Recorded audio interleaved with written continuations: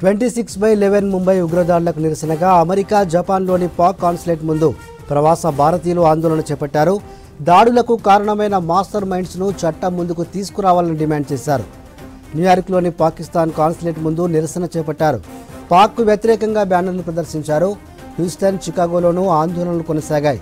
అటు న్యూజెర్సీలోని Pakistan community centre ముందు కూడా ఎన్ఆర్ఐలు ఆందోళన చేపట్టారు.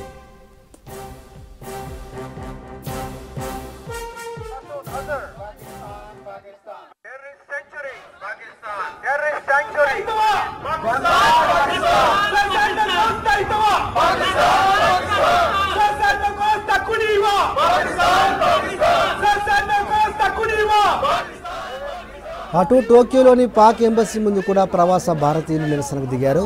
ముంబై ఉగ్రదాడుల మాస్టర్ మైండ్స్ను శిక్షించాలని డిమాండ్ చేశారు. ఉగ్రదాడుల్లో చనిపోయిన వారికి నివాళులు అర్పించారు.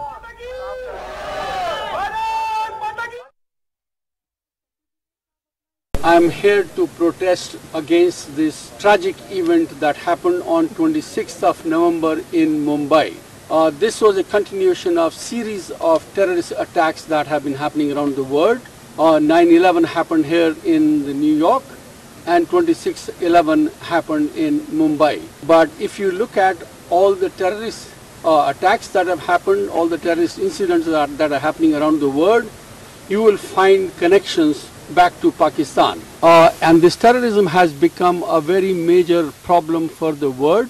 Pakistan is the terrorist country who support Taliban in Afghanistan and we are right now invaded by Taliban which is a sponsor of Pakistan ISI secret agency that interfere but totally control Afghanistan.